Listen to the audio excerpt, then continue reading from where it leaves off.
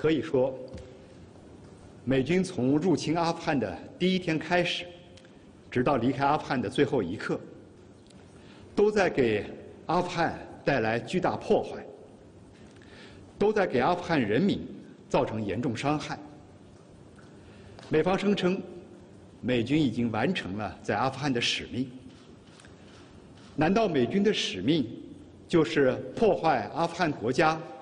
伤害阿富汗人民，甚至在最后撤离前，还要为阿和平重建制造更多的障碍吗？美军在阿富汗的二十年，就是一本活教材，生动展示了肆意对他国进行军事干涉，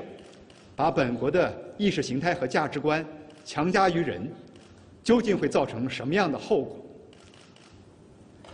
当前阿富汗历史正在翻开新的一页，国际社会有必要深入思考，如何防止阿富汗的悲剧再次上演。